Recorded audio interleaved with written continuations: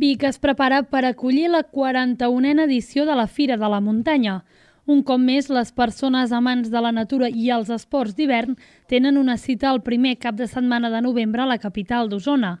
Enguany es recupera el format tradicional de la fira amb el mercat d'ocasió de roba i material esportiu, així com amb una àmplia àrea expositiva amb empreses relacionades amb els esports d'hivern, turisme i llibres. També hi haurà actes, activitats i xerrades i no faltarà la clàssica icònica escalada de la xamaneia del Sucre i els circuits de bicicleta de l'Escola de Ciclisme Jofré Vicky TV.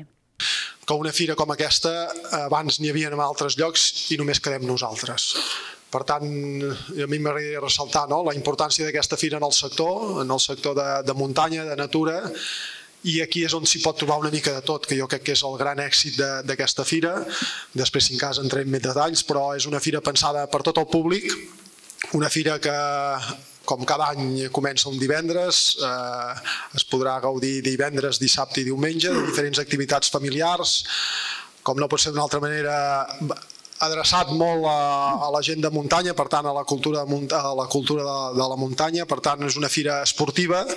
social i sobretot també de material i com no pot ser d'una altra manera amb diferents activitats per tots els públics. No? Pel que fa a la Fira del Llibre, enguany comptarà amb 16 expositors i un nou espai fòrum on es faran xerrades i presentacions de llibres. La més destacada, la del llibre de l'alpinista Tamara Lunger sobre la seva experiència al Nanga Parbat.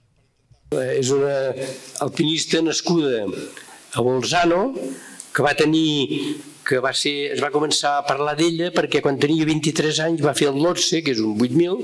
i va, diuen que va ser la primera dona jove que va fer el Lotse. Bueno, però la seva, el seu salt a la fama va ser que quan va començar a ser acordada, va començar a fer acordada amb en Simone Moro. Ell estava eh, intentant el Nanga Parbat invernal, Recordeu que l'any passat vam tenir l'Àlex Xicón, que també era un, un alpinista que fa hivernals, això de les hivernals és un altre tema, eh? doncs estàvem en Simone Moro intentant el Nanga Parbat invernal, eh, per una via complicada no la vam poder fer i després el camp base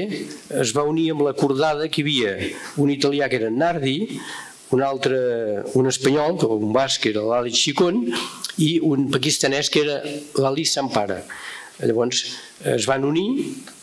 i van haver alguns problemes perquè Nardi, un italià, no va, no va acceptar aquesta unió de la cordada i van intentar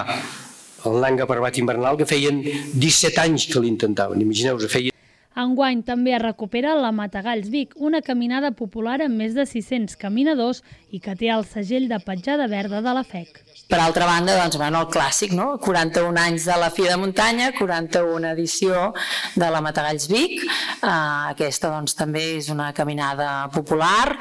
que, que bueno, també estem molt contents perquè uh, per nosaltres, evidentment, com a entitat excursionista és molt important uh, minimitzar l'impacte que fem en el medi natural. És evident que 600 persones tenen un impacte que, que, que, que no podem uh, minimitzar al 100%, però sí doncs, que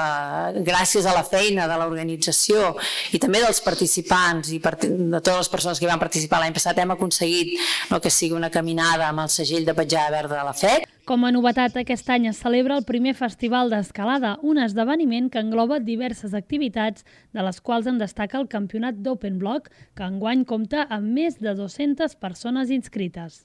el que seria el programa del, del Festival d'Escalada, que com he dit inclou diferents activitats, Um, entre elles bueno, hi ha l'Open Block, vale, que això és el que coneix, és com una activitat, és una competició d'escalada amb un format més obert a tots els nivells. Després també tenim la xamaneia, que ja ho han comentat, la, la, la competició d'escalada de velocitat de la xamaneia, que es farà, el, bé, ara comentaré els horaris, després tenim una activitat nova que és un concurs de cultura d'escalada i de muntanya, que creiem que és una, és una activitat nova que no es fa i que pot ser molt atractiu pel públic, ja que no, no requereix no, d'una condició física concreta. Després aquest any és un any molt especial per nosaltres perquè volem dedicar tot el festival aquest a una companya que es va que es va morir en un accident ara fa mig any i que era part de l'organització, que és la Cris, i intentarem també fer una mica d'homenatge i dedicar-li tot, totes les activitats amb ella. El Festival d'Escalada, a més, enguany també comptarà amb un programa musical amb concerts, food trucks i altres activitats del món de l'escalada. La fira espera rebre més de 10.000 visitants els pròxims 4, 5 i 6 de novembre al recinte firal al Sucre de Vic.